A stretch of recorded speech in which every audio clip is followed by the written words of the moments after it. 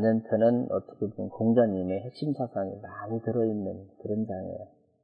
특히 그 논어에서 안자나 정자나 이런 분들하고 공자님하고 대화하신 그런 부분들은 잘 보시면 그렇게 그 훈훈하고 깊고 점잖고 뭐 그런 거를 느낄 수 있을 거예요.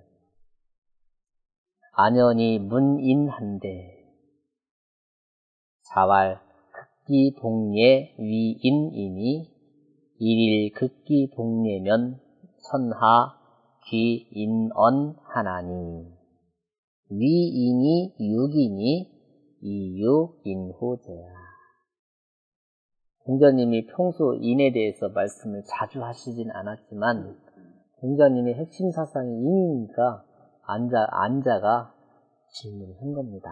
안연이 인에 대해서 여쭈었는데 제발 극기 복례 위인이니 공자님 답변이죠. 극기 복례가 인이 될지니 극기 복례는 뭘까요? 자기 자신을 극복한다. 자기 자신의 욕망이나 욕심을 극 통제한다. 절제한다. 하고 복례 예로 돌아오는 겁니다. 우리 이 복자는 회복할 복, 돌아올 복 그러는데 돌아올 복자입니다. 우리 본연의 모습이 그 질서에 어긋나지 않는 하늘은 하늘의 질서, 땅에는 땅의 질서, 인간은 인간의 질서를 그냥 순수히 타고났지요.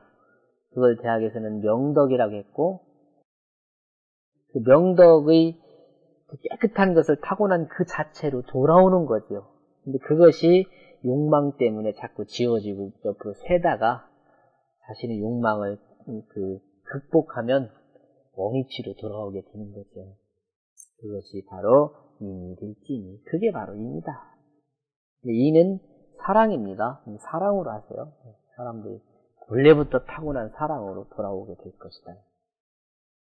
일일 극기복례면 하루라도 아주 하루라도라는 얘기는 분발해서 아 오늘부터는 내가 인을 실천해 보겠다.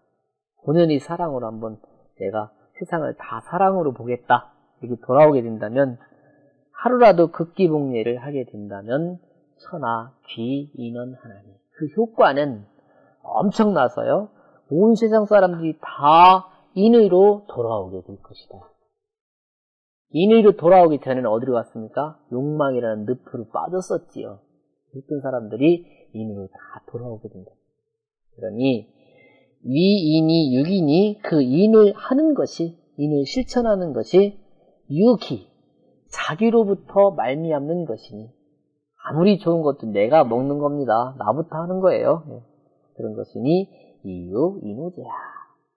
거긴 사실 그런 말이 있겠죠. 어찌 이런 말 강조할 수 있겠죠. 어찌 다른 사람으로부터 말미암겠는가. 남으로부터 시작이 되겠는가. 인자는 본심지 전덕이라 여기서 안연이 문인 할 때 인이라는 것은 무엇이냐? 본심지 전덕이라. 우리 인간 본 본연의 본 본래 타고난 그 마음의 온전한 덕이었다. 그러니까 대학에서 말한 명덕이라고 할 수 있겠죠. 극은 이 극자는 이게 천자문에서는 능이 극자예요. 서경에 그 극념 작성 그런 말 있죠. 능이 생각을 하게 되면 어리석은 사람도 성인처럼 그렇게 분단을 할 때는 능이 극자인데 여기서는 극복할 극자, 이길 극자예요. 이길 승자입니다. 그럼 극기 할 때 기는 무엇이냐? 기는 네 신지 사욕이다. 이게 신자를 자신이라고 보지 말고 내 신체로 보세요. 내 신체의 사사로운 욕심이다. 그게 뭐예요? 손에는 손, 손이 뭐 하고 싶은 거, 발에는 발이 하고 싶은 거, 이건 좀 작지만 눈은 좋은 것만 보고 싶고, 귀는 좋은 소리만 듣고 싶고, 코는 좋은 냄새만 맡고 싶고, 입은 좋은 것만 먹고 싶고, 그런 것들이 다 자신 자신의 그 욕심이지요. 그런 것들을 이겨보자, 그게요. 복은 반야라, 이 복자는 돌아올 반자로 해석을 하자 이거죠. 예자는 천리지 젊은 나라. 예라는 것은 하늘 이치, 즉 천지 자연의 이치의 그 젊은이다. 젊은이라는 것은 질서가 딱 맞춰서 착착착 잘 돌아가는 거지요. 어긋남 없이 예, 그것이 젊은이다. 위인자는 소위 전기 심지턱이 아니 인을 한다는 것, 인을 실행한다는 것은 무엇이냐? 전기 심지덕, 그 마음의 덕을 온전히 해나가는 그 방법, 원초적인, 근본적인 방법이다. 그러니 개 심지 전덕이 막비 천리 역 불능 불개어 인육구로 대개 심지 전덕이 우리 몸 마음에 받은 온전한 그런 덕이 막비 천리 천리 아님이 없어요. 하늘 이치에서 벗어난 것이 없어요. 그렇지만 또한 불개어 인육 인육 때문에 인육에 무너지지 않을 수도 없어. 눈에는 좋은 것만 보고 싶은 그 욕심, 그거에 천리와 이렇게 저울질을 하는데 그쪽으로 기우지 않을 수가 없다 이거죠. 글리 쏠리지 않을 수가 없으니 이 인자, 인을 하고자 하는 사람, 인을 하는 사람이 필주의 승사욕이 보고예즉 사계 천리 분심지덕이 부 전어 아인가 인을 하는 사람이 반드시 승사욕, 사사로운 욕망, 사사로운 욕심을 이겨낼, 이겨서 보고에 예로 돌아옴이 있게 되면, 예로 돌아오게 된다면, 사계의 천리, 하는 일마다 다 천리에 합당하고, 그죠? 천리고. 일이 다 천리라는 건 뭡니까? 사계의 천리다. 그 하는 일마다 다 천리에 어긋나지 않고, 분심지덕이, 본, 본심이 그 덕이 다시 나에게 완전해질 것이다. 이거야말로 인을 한 것의 극처를 말한 자리가 되겠지.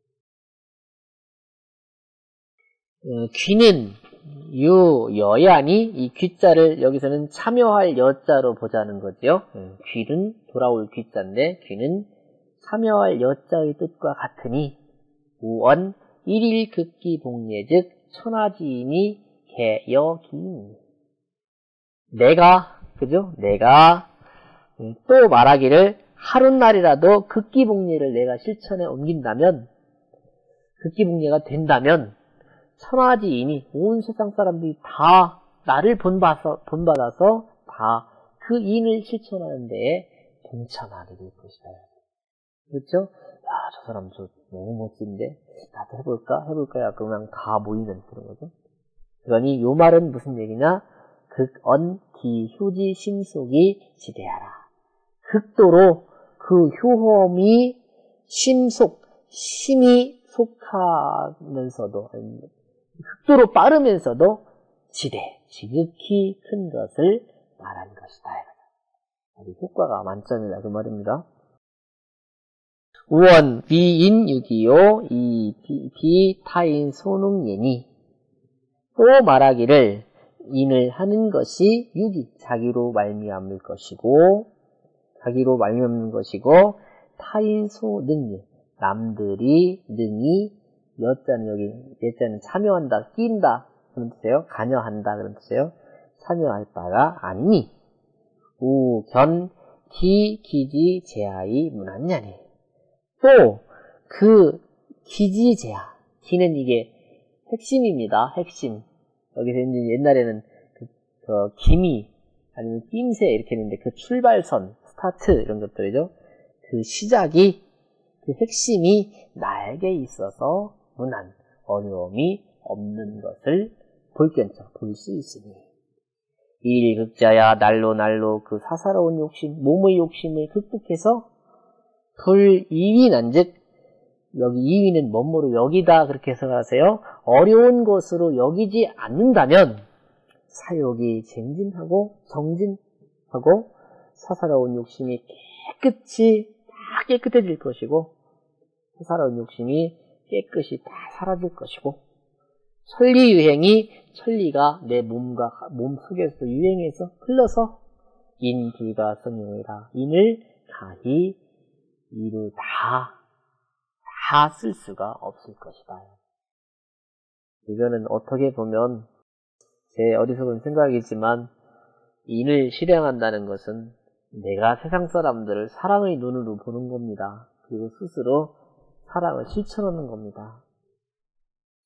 정자왈 비례처 변시 사인 정자는 또 이제 철학적으로 더 접근해 가는 겁니다. 정자가 말하기를 비례처 얘가 아닌 것 얘가 아닌 곳이 변시 사의 즉 그것이 다 사사로운 뜻이리니 기시사이면 이미 사사로운 뜻으로 변해진다면 이미 사사로운 뜻이 된다면 여하 득인이리 어떻게 인을 체득할 수 있겠는가?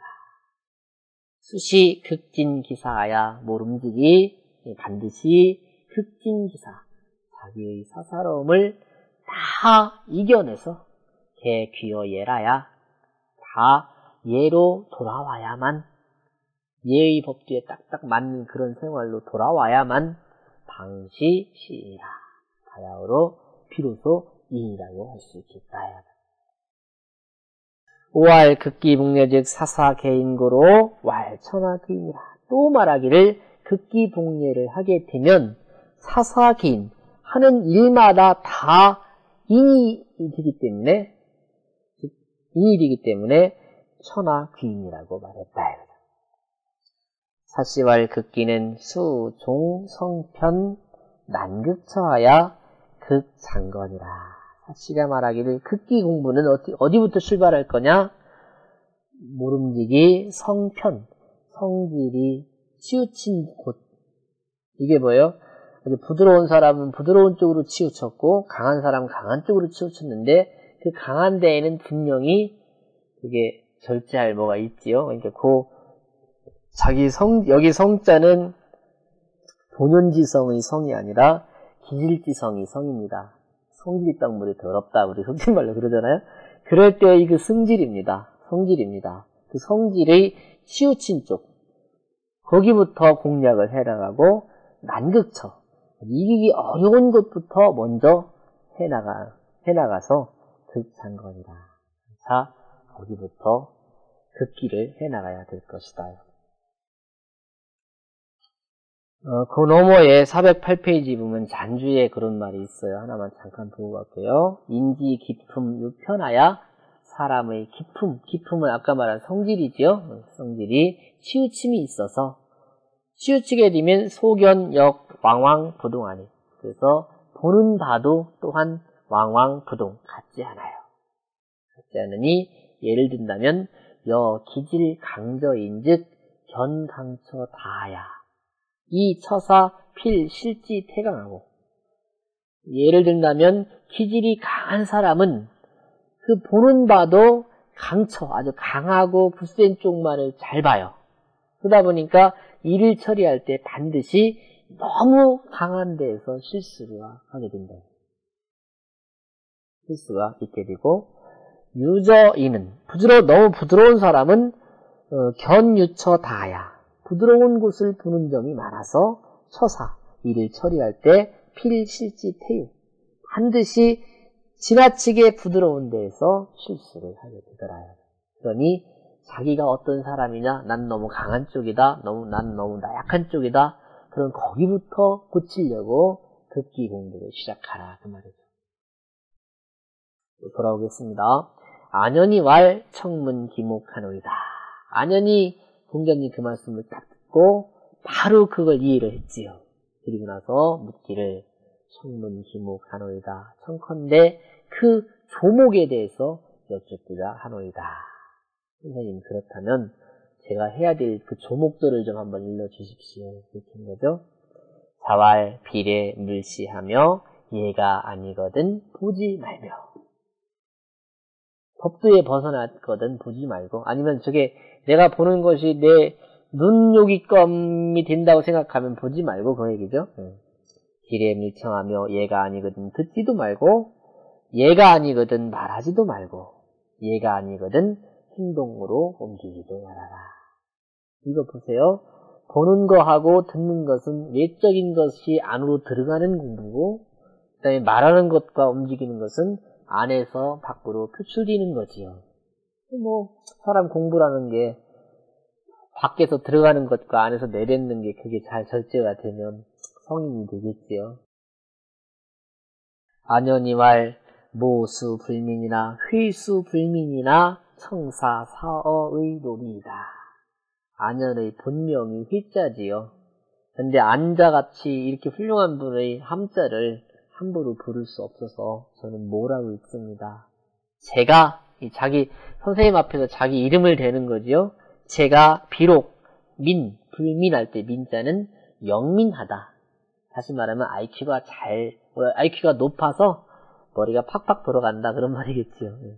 제가 민 영민하지는 못하지만 청사사오이로다. 청컨대 이 말씀으로 한번 늘 일을 삼아서 실천해 보겠습니다.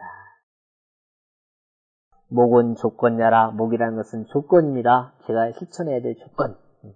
안연히 문 부자지연하고 안연히 공자님 말씀을 듣고 즉어 천리 인육지제의 이 판을이라. 바로 극기복리할 때 비례물시 비례물청 비례할 때 예는 뭡니까? 천리에 딱딱 합당한 거지요. 그리고 비례는 인욕이 개재된 겁니다. 그러다 보니까 천리와 인욕의 그 즈음에 이 두 사이에 이 판은 이미 아주 판연하게 갈라섰다 이거죠. 어떤 것이 천리고 어떤 것이 인욕인지 그 구분을 명확하게 할 수 있었다 이거죠. 한 말씀 듣고서요. 네. 고로 불부 유수 의문이 직청기 제무되라. 그렇기 때문에 또다시 의문디는 바를 두지 않고 의문점이 없고 곧바로 곧바로 제자요 곧바로 그 조목을 청한 것이다.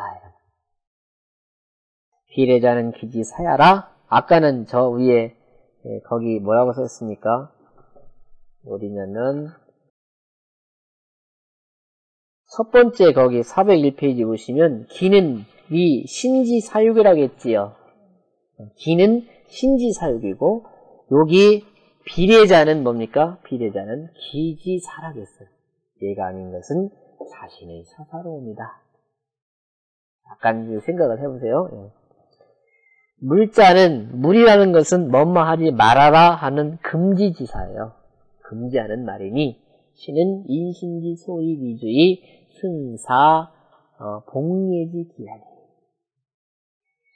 이것은 그러니까 비례물시하며 비례물청하며 비례불언하며 비례물동 이 네 말씀 전부 다 싸잡아서 보세요. 이것은 이심지 소위 위주의 그 말은 이심이 주인이 되어서 승사 복례지 기하니 사사로움을 이겨 예로 회복되는 기미가 되잖아요. 기미가 되니 사승즉 사사로움을 이겨내면 이렇게 해석하자고요. 사사로움을 감당해내면 음, 감내해내면 동용주선이 동용주선은 일거수 일투족 모든 말과 행동과 이런 모든 포함한 거죠. 동용 동용주선이 주선은 무슨 일을 한다고 할 때 주선이라고 하고요. 동용은 움직이는 용모 이렇게 할 수 있습니다. 모든 일을 처리할 때 다 무불중예하고 예의 중자는 맞을 중자입니다. 예의 합당치 않음이 없고 예의 착착 들어맞지 않음이 없고 이 일용지간에 일용지간은 늘상 매일같이 하는 일 늘상 늘상 막비 천리지 의행이다. 천리가 흘러 행함이 되지 않음이 없을 것이다. 다시 말하면 천리에 착착 맞을 것이다. 사는 이제 모수 불민이나 청사사어의 할 때 그 사자입니다. 일사자인데 일삼을 사자죠. 여 사사지 산이 위에 있는 사자는 동사고요. 밑에 있는 사자는 일사자입니다. 어떤 일에 일삼는다, 즉 종사한다 할 때의 사자다. 동사로 봐라 그 말입니다. 그럴 때의 사자니 청사사어는 청컨대 이 말씀을 일삼겠다라는 것은 안연히 묵식키리하고 안연히 그 이치를 묵식 말로 표현하지 않으면서도 훤히 깨뚫어서 다 알게 되고 묵식키리하고 오자 지 기력이 유의 승직으로 또 스스로 자신의 능력이 유의 승지 그것을 이겨낸다. 그죠? 이겨낼 수 있음을 알았기 때문에. 아 제가 그 정도는 해낼 수 있을 것 같습니다. 라고 알았기 때문에 직이위 기임이 불의하라. 곧바로 기임, 자신의 임무로 일이 여겨서 의심하지 않은 것이다. 이제 주자는 이 안자의 경지를 어느 정도 높이 봤냐면 거기 잔지에 나와 있어요. 주자왈 안자 극기는 안자가 극기해야 될 그 조목이나 극기해야 될 거리 그런 것들은 여 홍로상 1.설이다. 벌겋게 불다른 그 화로 위에 그 한 조각의 그 눈덩어리처럼 조금 있는 것 그것을 그 정도의 단계에서 안자가 극기 공부를 했을 거다 그렇게 본 거죠. 정자왈 안연이 문 극기 극기 복례지 목한데 정자가 말하기를 안연이 극기 복례의 조목에 대해서 물었는데 자왈 비례물시 비례물청 비례물원 비례물동이라고 하셨으니 사자는 신지용이라 이 네 가지는 다 우리 몸의 용 사용처다 이거죠. 몸에서 작용되고 있는 것이다 이거. 그러니 유호 중이 응호 외하나니 안으로부터 말미암아서 응호외 외부로 응답하는 것이니 그러니 핵심은 어디 있습니까? 제어외는 그러니 외부에서 들어오는 것을 제어하는 것은 소위 양기중이라 그것이 바로 그 속, 속을 기르는 까닭이더라. 다시 말하면 이 사람이 제가 한번 그런 말씀을 드린 적이 있을 거예요. 강의 시간에 우리가 예비군 복장을 입혀놓으면 아무 데나 주저앉거든요. 근데 양복을 입혀놓으면 이런 데 앉을 때도 손수건을 피고 앉잖아요. 같은 거예요. 사람이 그 수양을 한다는 것은 아, 밖으로부터 들어가는 것을 조심할 수도 있고 안으로부터 내뱉는 것 조심하는 것 두 가지가 있어요. 그게 바로 여기 유호중이 응호외 그렇게 되니까 제어외는 소위 양기중야라 그런 거죠. 안연이 사 사어하니 안연이 이 말씀으로 이를 삼았으니 소위 진어 성인이니 그 자체를 보면 그 요 말씀으로 이를 삼아서 늘 노력을 하게 되면 성인으로 진 나가는 그 계경이 되니 나가게 되는 것이니 후지학 성인자는 훗날 성인을 배우고자 하는 사람, 성인을 배우려는 사람들은 의 보공이 물실자니라. 복응, 복응이라는 건 뭡니까? 이게 가슴 응자인데 가슴 속에다 잘 새겨둬서 잃어버리지 많은 것이 마땅할 것이다. 잃지 말아야 될 것이다.